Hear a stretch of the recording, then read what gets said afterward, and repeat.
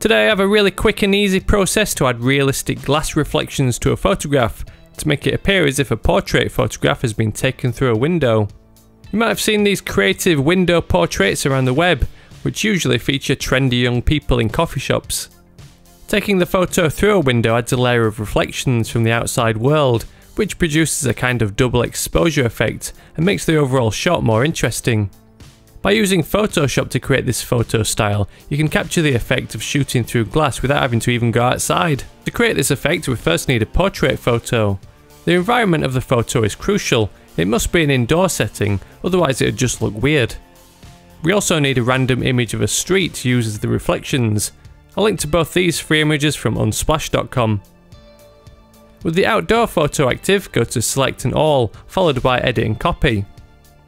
Close the document and go to edit and paste to place the image on a new layer within the portrait photo document. Press command or the control key on Windows and T shortcut for transform. Scale the image so it fills the canvas. Before adding any filters, right click on the layer and choose convert to smart object, so the settings can be altered later if necessary. The reflections on a window wouldn't be in focus, so add a Gaussian blur to simulate this. Apply a radius of around 10 pixels. Change the blending mode of this layer to screen, which allows the two layers to interact by making the darkest areas transparent. To fine tune the appearance of the window reflections, add a levels adjustment layer. We only want these levels adjustments to apply to the street photo layer, so hold the Alt key and click between the layer and the adjustment layer to create a clipping mask. Move the levels sliders to adjust the appearance of the reflections.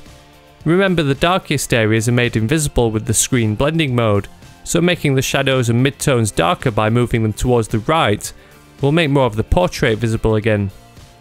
Moving the output level sliders will adjust the whole of the image rather than just the shadows, midtones and highlights specifically.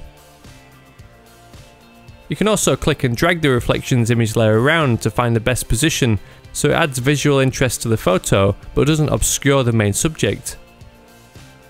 The reflections look a little too vibrant as a result of the levels adjustment, so go to image adjustments and hue and saturation.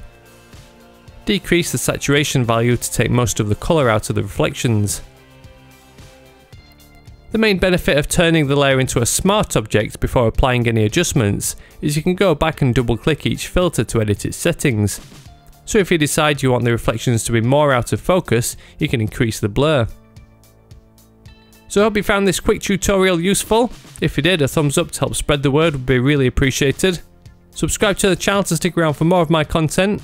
And if you want to get your hands on my free bundle of design resources, head over to my Spoon Graphics website. As always, thank you very much for watching, I'll see you in the next one.